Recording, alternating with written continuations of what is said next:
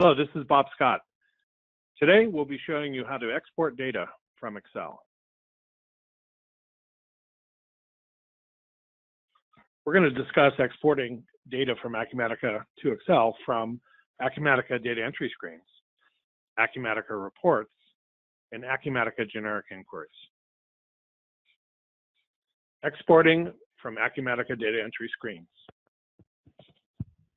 In any data entry screen in Acumatica, there's a fast and convenient method for extracting data and sending it to Excel. Here I'm in the journal entry screen uh, within Acumatica. When I call up any journal entry, either released or unreleased, I can click on the convenient Excel button, which will extract the contents of, of this transaction, in this case a journal entry, and send it to Excel.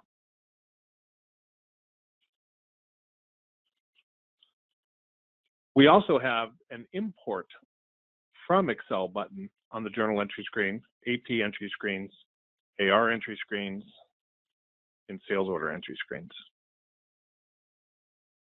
Exporting from reports.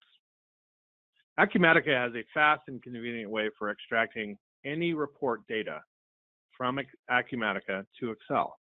In this case, I'll be showing the trial balance summary report from the general ledger. If I run the report, I generate the report to the screen. At the top of the screen, I can export the report from Acumatica to Excel or PDF. I can also send the report as a email attachment.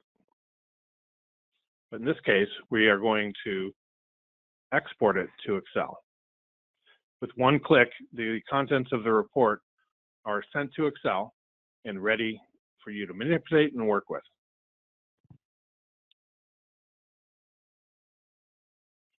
Generic inquiries are a standard feature in Acumatica. Generic inquiries allow users to create and customize interactive screens within Acumatica.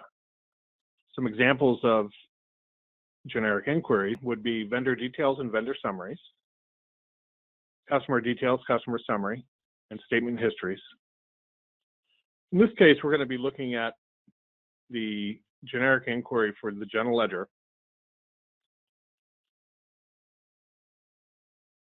called the account summary.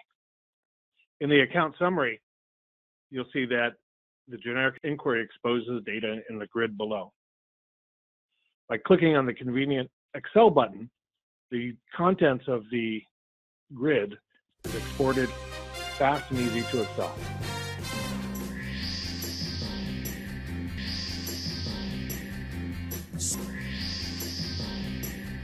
Thank you for joining us on on exporting uh, data from Acumatica to Excel. You can join us on our user group in LinkedIn or on our YouTube channel.